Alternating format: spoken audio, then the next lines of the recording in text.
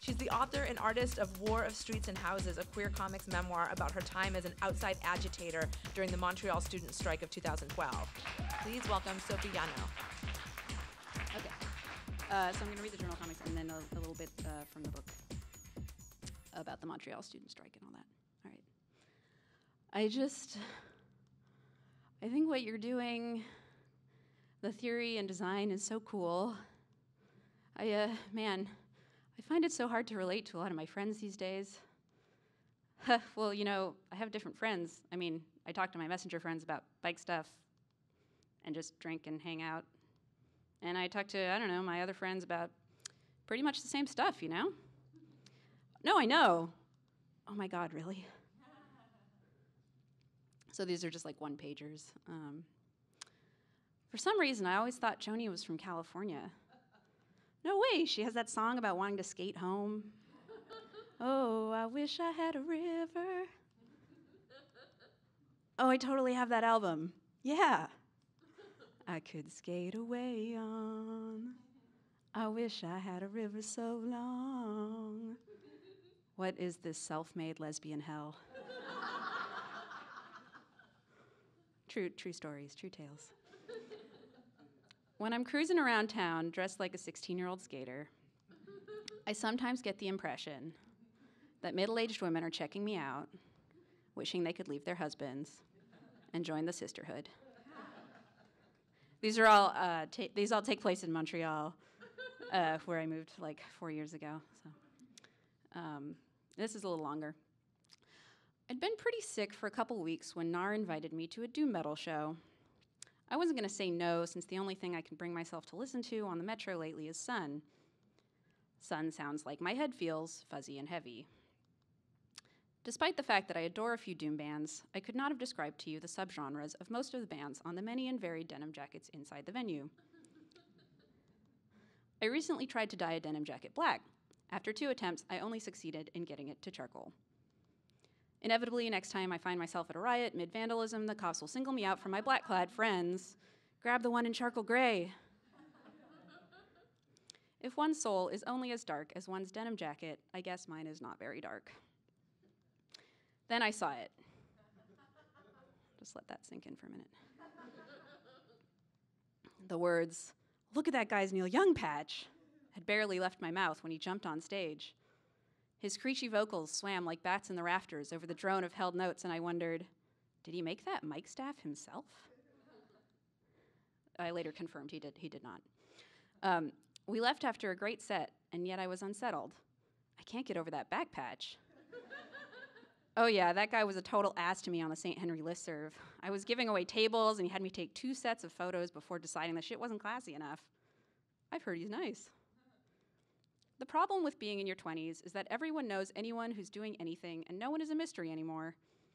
Oh, but he's also a food blogger. I forgot. I want to read his new book. A food blogger? Days later, I was still plagued by the back patch. I mean, I know the jacket was black, but was it dark? Look, it makes total sense that a Doom guy would like Neil Young. Neil is all about jamming on one note, get it? Whoa.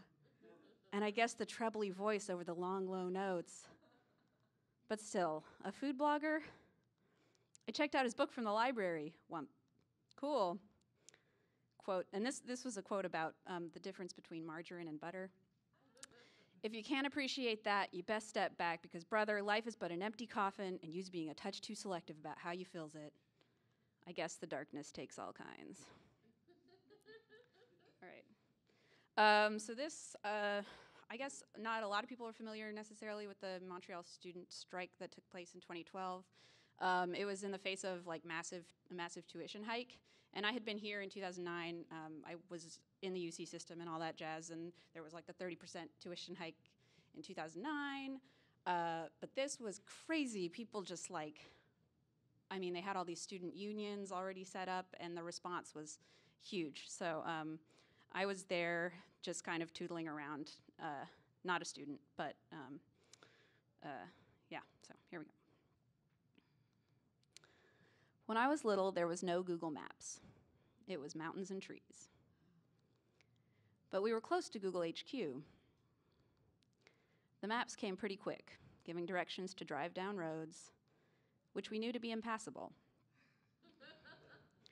As kids, we wandered. We knew every path. If I were to hunker down somewhere, I'd probably have the best advantage in those woods. Considering that the end of the tuition freeze by the government represents an increase of 30% of educational fees and therefore reduces the accessibility of study, oh man, this is a big one. Considering that the augmentation of loans and scholarship is insufficient to truly assure accessibility to all. Oh, not today, I shouldn't go down there. Bzz. Considering the position of members of this association regarding the financing of post secondary education is adopted as follows quote, against all hikes in tuition and pertaining fees and for a major reinvestment in education from the perspective of free tuition. Considering that the strike is a collective tool which can permit us to negotiate with the government. Hmm. Considering that the strike is also a platform to raise consciousness and a method which permits us to make even more actions and in this way increase the pressure on the government. Okay, well, see you guys later. Uh, bye bye and that this association has adopted a mandate for unlimited general strike, dot, dot, dot. Wham. The metro doors are closed behind me.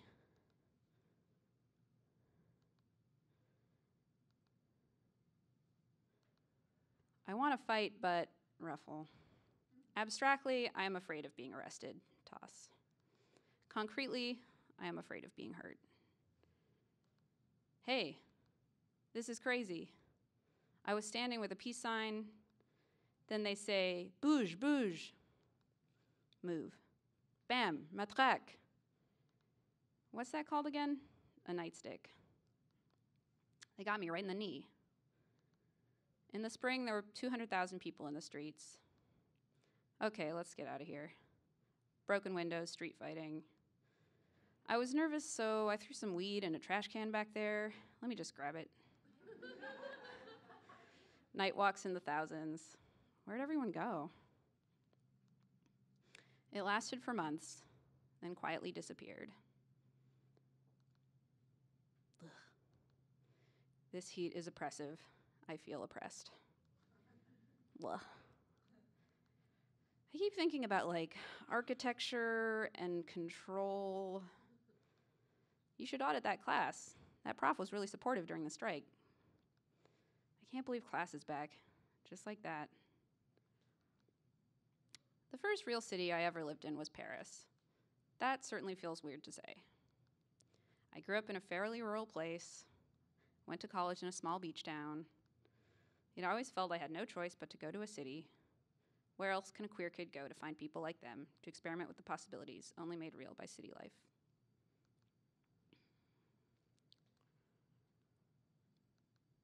I spent five months in Paris studying.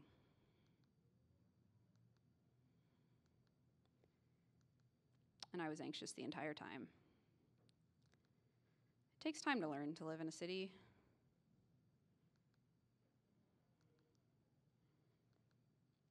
Where I'm from, I could always go for a walk in the woods when I felt that anxiety. Here, I went to open spaces, grand boulevards, and the edge of the river. But it's not the same as the woods. Before I came to Montreal, I read an artist statement from some poster makers talking about the importance of postering around town. I thought nothing of it coming from a coastline which knows almost nothing but sprawl, where human scale things are quaint or unimaginable. Here, alleyways blanket the city. You can poster whole neighborhoods by bike and know there will be people out to see your work. When I finally made it to the suburbs, I found it again sprawl, where human scale things are quaint or unimaginable. When I first arrived, I had no understanding of the geography. The city filled in with every walk. Eventually, I made it downtown. Could be anywhere. Calm, empty, as if it hid nothing and had nothing to hide. Class is on the 12th floor of a downtown building, I've been sitting at the back to be out of the way, next to the windows. At the break, I stare out, but not for too long. I don't want to give myself away. I've never been up here. Tactical advantage. Thinking about space, abstracting in order to understand, might be one way to deal. I am trying to remove myself from the picture, but it is impossible. If the strike is about disruption, we go downtown to disrupt the normal flow of things. So, time and again, I drag myself down.